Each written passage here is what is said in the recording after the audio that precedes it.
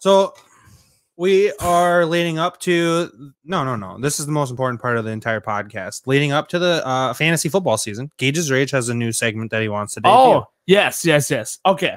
So it's tough for a lot of us to believe and understand, being that we've all been involved with fan- fantasy football for fuck a decade plus, I'd say for all of us at least. But there are people that maybe are just getting into fantasy football, football as a whole in general. So what I want to bring up is fantasy football 101. Gage's Rage takes you to class. Uh, Oh, we're gonna wrong start it off. wrong banner.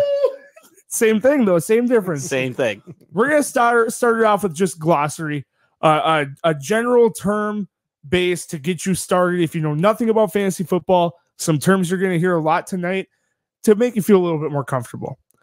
Uh, I thought the first one off the top of my head is PPR. You hear it all the time. It's super common. Uh, if you don't hear PPR in your fantasy league, get the fuck out of that league because that's a trash league.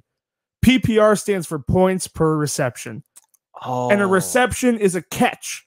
So you get one point for every catch. Some leagues are half PPR, half point per catch.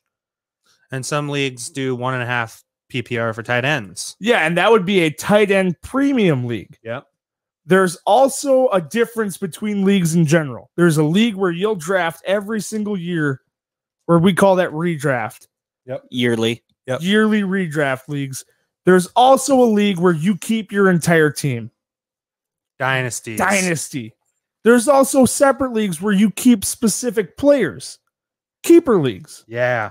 They all have their own quirks, they all have their own differences, and they all bring great stuff that you love about football. Uh, Dynasty, you're looking at really long term, young players, lots of value. Um, yearly, maybe you're looking at a player like Tom Brady, who's somehow got some more fuel in the tank, but is going to sling a few touchdowns and, and do some stuff this season. Uh, The value changes on where you're taking guys. You might look at a player like, I mean, Tom Brady's a good example. You know, a little bit older, but maybe we look at tight ends. Like Travis Kelce is still a top tight end, but eventually that tide's going to turn. He's what, like 32, two, 32. He'll be 32 in season. So 32, which is, you know, getting up there for a tight end. So you might be looking more along the lines of a younger guy that might be able to step up. Kelce still has the most value, but at a certain point, that's going to peak where he could have a really good year next year. But after that, you see a tank. So you're going to see younger players have a lot more value to you because you're looking two, three, five years down the road. exactly. And, uh, PPR leagues specifically, most websites that you go to, if you're looking for uh, like ranking sheets, they'll give you uh, PPR, half PPR, and standard. Some don't do the half. Some will just do standard and PPR. But I think it impacts the most is the running back position.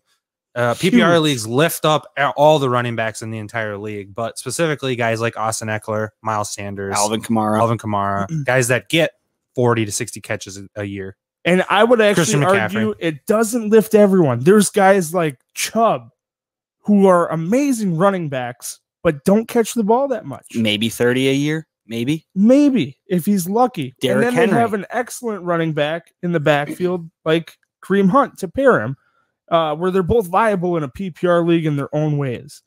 Uh, Nyheim Hines, a guy that really is a no-namer, third down specialist, but in a PPR league can get you in a pinch. He's an RB2 in a PPR league. JD Absolutely. McKissic was an RB1 last year based on the amount of passes he caught.